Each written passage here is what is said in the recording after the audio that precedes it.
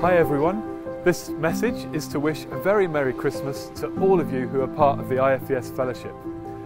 I'm praying that each one of our students, as well as those who work with us, pray with us, and those who support us, will find joy in Jesus this Christmas. And as we approach the Christmas season, I've been thinking about the joy that the wise men experienced. Matthew tells us that when they saw the star, they were overjoyed. While the Magi are some of the most familiar Christmas characters, we know almost nothing about them.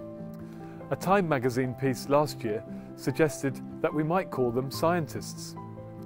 Certainly, Matthew's Gospel indicates that the Magi were actively seeking knowledge and understanding, they were reading outside of their own language and tradition, and the fact that they noticed a star rising in the east shows a discipline and structure to their observing. Is it too much to say they were like students? But while sometimes our academic pursuits and institutions can be marked by a posture of pride, looking down on Christian faith, that's not what the Magi were like. Their education, openness, and persistence in following the star led them to a small child, Jesus.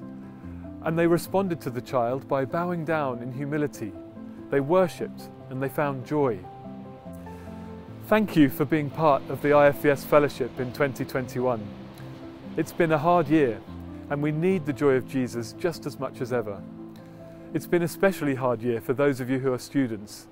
You've been faced with a tidal wave of information and influences, and many of you are dealing with fear and anxiety around career, relationships, injustice, social and political unrest, the global climate emergency, on top of all the struggles of the pandemic.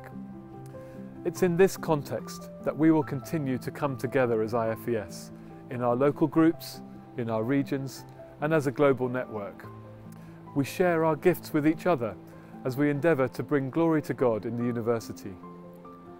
I pray that in God's grace He will lead many more students to Jesus and that you, like the wise men, will be filled to overflowing with joy in Christ's presence in 2022. This Christmas, I pray that each of us will find the humility, curiosity, and openness to once again follow the star and be ready to encounter Christ in a fresh way.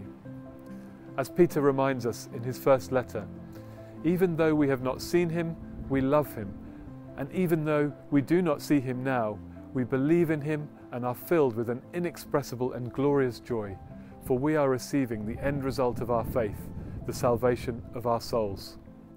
So may this be a joy filled Christmas for you.